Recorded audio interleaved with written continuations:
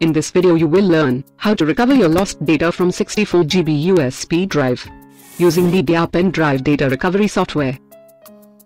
We have tested our software on different 64GB USB flash drives and in various data loss cases.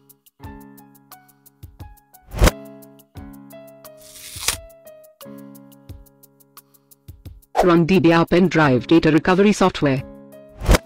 Connect your USB drive, from which you want to restore lost files and folders.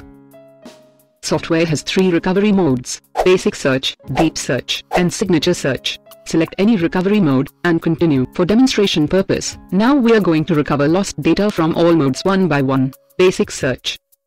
This mode is quick, and recovers files in most common data loss cases, on the basis of fundamental partition parameters. Select your USB drive from physical drives list in the drives tree and continue. Recovery is under process. Files recovered successfully. Deep Search Deep Search thoroughly scan the media to recover data even in complicated data loss cases. Select your USB drive from physical drives list in the drives tree. Choose file system from FAT or NTFS that was existing in your pen drive before data loss. Most likely, there should be an NTFS file system. And continue recovery.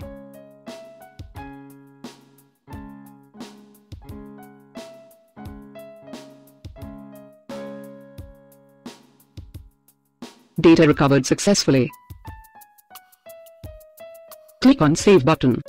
Browse the path where you want to save recovered files. Signature Search. Select your USB drive from physical drives list in the drives tree and contain. Select your data files extensions. And browse the path where you want to save recovered data and continue recovery. Signature search find different file types, regardless of file system structure of storage media. Files recovered successfully. You can view recovered files. Click on Open Containing folder. As you can see.